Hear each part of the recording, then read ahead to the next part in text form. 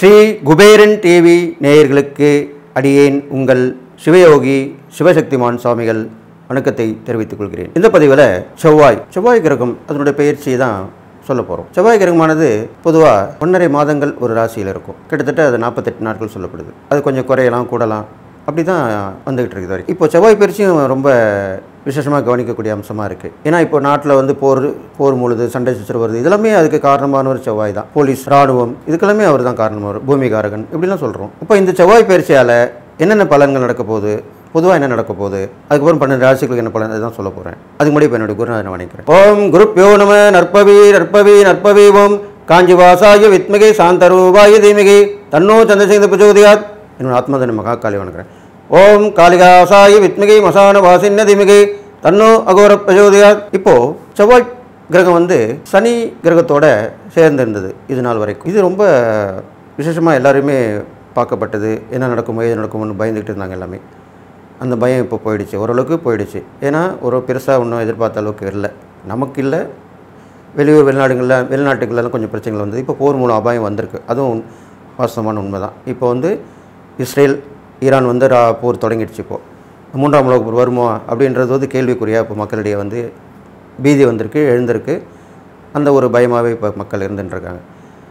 இருந்தாலும் இப்போ இந்த செவ்வாய் வந்து அந்த சனி கிரகத்தை விட்டு மாறுறார். அதாவது கும்பராசியில் இருந்த செவ்வாய் பகவான் மீன ராசிக்கு மாறப்போகிறார். அது எப்போன்னு கேட்டிங்கன்னா ஏப்ரல் மாதம் இருபத்தி ரெண்டு நாலு இரண்டாயிரத்தி இருபத்தி நாலுலேருந்து முப்பத்தொன்று அஞ்சு ரெண்டாயிரத்தி இருபத்தி நாலு. கிட்டத்தட்ட ஒரு நாற்பது நாட்கள் வரப்போகுது. மே மாதம் முப்பத்தொன்று வரைக்கும். அந்த மீனராசியில் இருப்பார். அப்போ இந்த மீனராசியில் செவ்வாய் இருக்கும்போது என்னென்ன பலன்கள் ஏற்படும்? அவர் பார்வை பெற்ற ராசிகளுக்கு உண்டான பலன்கள் என்ன? அதெல்லாம் நான் விரிவாக பார்க்க போகிறோம் அதுக்கு முன்னாடி நம்ம இந்த பொதுவான பலன் பார்க்கும்போது பெரும்பாலும் சனியை விட்டு விலகிறது நல்ல விஷயந்தான் இந்த போர் மூண்டது தகராறு சண்டை சச்சரவு எல்லாமே வந்துக்கிட்டு இருந்தது இப்போது அது கொஞ்சம் குறைய ஆரம்பிக்கும். கொஞ்சம் குறையும். இப்போ வந்து மீனராசிக்கு போகிறார் மீனராசி ராசியாதிபதி குரு. இப்போ குரு ஒரு வீட்டில் போகும்போது பெரிய பிரச்சனையில் கொண்டு போன மாறார். இந்த சண்டை ஆரம்பித்த போர்லாம் கொஞ்சம் குறையறதுக்கு வாய்ப்புகள் இருக்குது இருந்தாலும் அந்த போக போகிற இடத்துல ராகு பகவான் இருக்கிறார். அப்போ ராகு இருக்கும்போது செவ்வாயும் ராகும் சேர்றாங்க. இதனால் வரைக்கும் சனி செவ்வாய் சனி இருந்ததுனால கொஞ்சம் பிரச்சனைகள் வந்து இருந்தது இப்போது ராகுவோட சேர்றார். ராகுவோட மட்டும் இல்லை ராகுவோட தான் இருக்க போகிறார் இந்த கிட்டத்தட்ட ஒரு நாற்பது நாட்களாக இருந்தாலும் இவர் சேரும் பொழுது சுக்கரன் புதன் இந்த இரண்டு கிரகங்களுமே அங்கே இருக்காங்க. அப்போ இதை வச்சு பார்க்கும்போது சுக்கரன் செவ்வாய் புதன் ராகு நான்கு கிரகங்கள் இருக்கிறது இந்த மீனராசியில்.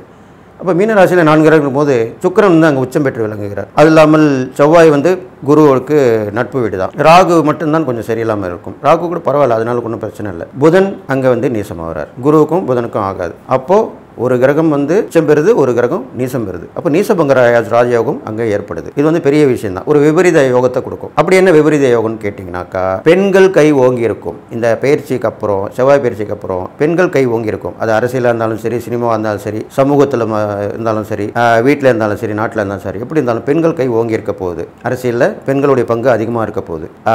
நிறைய வாகனங்கள் சுக்கரன் உச்சமாக இருக்கார் இல்லையா? அதனால் வாகனங்கள் வந்து நிறைய பெருகும். அது மூலிமா நிறைய விபத்துகள் உண்டாகிறதுக்கு வாய்ப்பு இருக்குது விபத்துகள் உண்டாகிறதுக்கு வாய்ப்பு இருக்குது ஏன்னா செவ்வாய் வந்து அடிதடி இந்த காயங்கள் இதுக்கெல்லாம் காரணமாக வர்றாரு. அவர் அந்த இடத்துல போய் இருக்கும்போது விபத்து மூலியமாக பெரிய இழப்பு வராது. சிறு சிறு அடிக்கடி அடிக்கடி விபத்துகள் ஏற்படுறது. இது வந்து மக்களுக்கு மட்டும் இல்லை அந்த வாகனங்களும் சேதமாகும். இது இல்லாமல் புதன் வந்து சேர்ந்திருக்கனால செவ்வாயோட கல்வி கல்வி மேன்மைப்படும். கல்வி மேன்ம கல்வி மேன்மை மட்டும் இல்லை அறிவு அதாவது இதனால் வரைக்கும் யோசிக்காமல் இருப்பாங்க. இப்போ யோசிப்பாங்க. யார் யோசிப்பாங்க? நம்ம நாட்டை நிர்வகிக்கிறவங்க. அவங்க யோசித்து மக்களுக்கு என்ன பண்ணலாம் ஏது பண்ணலாம் இந்த மாதிரி செய்யலாமே அந்த மாதிரி செய்யலாமே அப்படின்ற ஒரு யோசனை வரும். இந்த செவ்வாய் புதனும் சேர்ந்துக்கும் போது.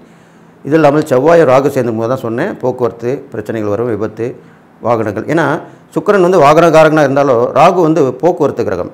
அந்த மூவ் பண்ணுறது வந்து ராகு தான் அதனால் இது மாதிரி நடக்கக்கூடிய அம்சங்கள் இப்போ இருக்குது செவ்வாய் வந்து அங்கே இருந்துட்டு கேது வேறு பார்க்க போகிறார் கேது பார்க்கும்போது செவ்வாய்க்கும் கேதுக்கும் வந்து ஒருமித்த விஷயங்கள் தான் நடக்க போகுது. எப்படின்னு கேட்டிங்கனாக்கா இப்போ ராகுக்கு வந்து கிழமை இல்லை. அது வந்து சனிக்கிழமையே அவருக்கு சா ராகு கொடுத்துருக்காங்க. அதே மாதிரி கேதுக்கு வந்து செவ்வாய்க்கிழமை தான் கொடுத்துருக்காங்க. அப்போ அந்த செவ்வாயாகப்பட்டவர் ராகுவோட இருந்து கேதுவை பார்க்குறார். அப்போது கேதுக்கும் ராகுக்கும் சேர்ந்திருந்தாலும் கேதுவும் ராகும் பார்த்தாலும் கொஞ்சம் அவ்வளோ சரியாக இருக்காது.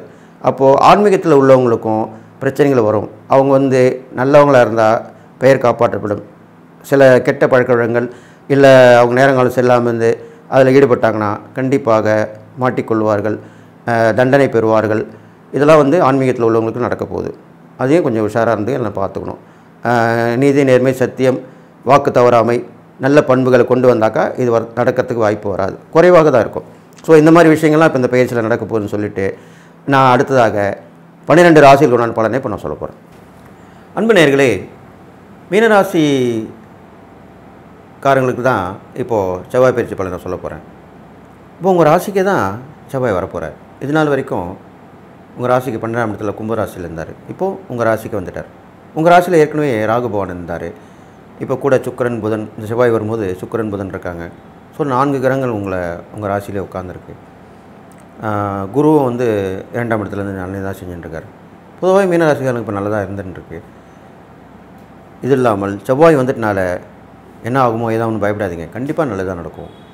இந்த மீனராசிக்காரங்களுக்கு இந்த ராசியிலே செவ்வாய் வந்து உட்காந்துட்டனால செவ்வாய் இருக்கும்போது அந்த புதனும் கூட இருக்கார் இந்த காலகட்டத்தில். சுக்கரன் ராகு இருக்கக்கூடாதுன்னு சொல்லுவாங்க. இருந்தாலும் புதன் கூட இருக்கிறனால புதன் வந்து ஒத்து போகக்கூடிய கிர கிரகம்னு சொல்லுவாங்க எல்லாருக்குமே. எல்லா கிரகத்தோடையும் ஒத்து போகக்கூடிய ஒரே கிரகம் புதன் தான்.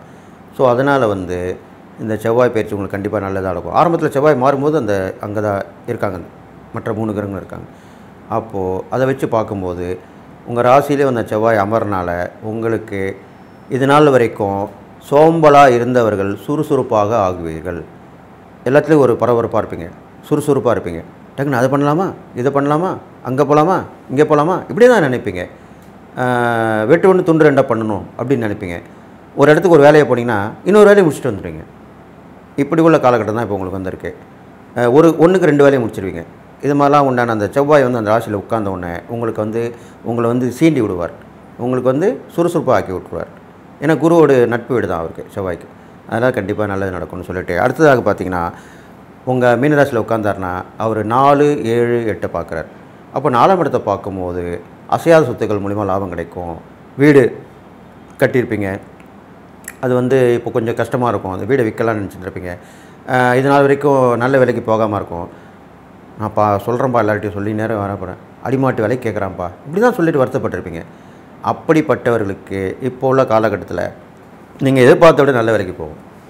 பூமி வாங்கி போட்டிருப்பீங்க. அதை விற்கணும்னு நினச்சிருப்பீங்க. அது ஒரு சுபகாரியம் பண்ணுறதுக்கு பொதுவாகவே வீடு கட்ட கல்யாணம் பண்ண மருத்துவத்துக்கு படிப்புக்கு இது மாதிரி தான் பண்ணுவாங்க. ஒரு சொத்தை விற்பாங்க. இதுதான் முக்கியமான விஷயம். அப்போது அந்த காலகட்டத்தில் இப்போ உள்ள காலகட்டத்தில் இந்த பூமி லாபம்னு சொல்லப்படுது. அப்போ பூமி வந்து நீங்கள் வாங்கி போட்டிருந்த இடம் நல்ல நிலைமைக்கு விற்கும். அந்த இடத்துல ஏதாவது ஒன்று வந்து நிற்கும் ஒரு லேண்ட்மார்க் ஆகிடும் ஒரு அரசாங்கத்து மூலிமா ஒரு பெரிய நிறுவனம் அங்கே கட்டுற மாதிரி வரும். ஒரு கம்பெனி கட்ட வருவாங்க. இது மாதிரி இவ்வளோ நாள் இல்லாமல் இருக்கும். இப்போ வந்துடும் அது கேள்விப்பட்டாலே போதும். இடம் கூடிடும் உதாரணத்துக்கு இப்போ சொல்லணும்னா இப்போது அரசாங்கத்து மூலிமா பஸ் ஸ்டாண்ட் பெரிய பஸ் ஸ்டாண்ட் பண்ணாங்க. அப்போது அது பக்கத்தில் உள்ள இடம்லாம் நல்ல விலைக்கு விற்க ஆரம்பிச்சிச்சு அது மாதிரி தான் அப்போது அது மாதிரி உள்ள நேரம் இப்போ இருக்கிறனால உங்களுக்கு பூமி லாபம் உண்டு. வீடு கட்டியிருந்தீங்கன்னா அது மூலம் லாபம் கிடைக்கும். இது இல்லாமல் பூர்வீக சொத்தால் லாபம் அடைவீர்கள். பூர்வீக சொத்துனா தாத்தா பாட்டி சொத்து தாத்தா சொத்து பாட்டி சொத்து அப்பா அம்மா சொத்து இவங்களாம் இருக்கும். அது வந்து கொஞ்சம் பிரச்சனையாக இருந்துருக்கும் இவ்வளோ இருந்திருக்கும். அது வந்து அதுக்குண்டான முயற்சியில் இறங்குவீங்க. நீங்கள் இறங்குவீங்க இல்லைனாக்கா பொதுவாக பங்காளிகள் தானே சொத்து பிரிப்பாங்க. அவங்களாம் வந்து சேருவாங்க பேசுவாங்க.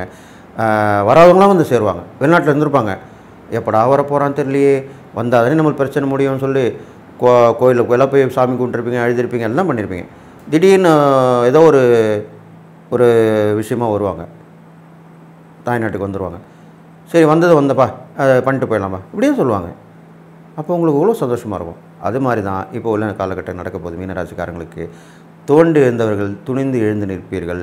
நல்ல முயற்சியில் ஜெயம் நடக்கும். இதுதான் முக்கியமான விஷயம். அடுத்தது பார்த்திங்கன்னா எட்டாம் இடத்தையும் பார்க்குறாரு. எட்டாம் இடத்தை பார்க்கறனாலையும் அவருக்கு வந்து நல்ல லாபங்கள் உங்களுக்கு எதிர்பாராத வரவெல்லாம் கிடைக்கும்.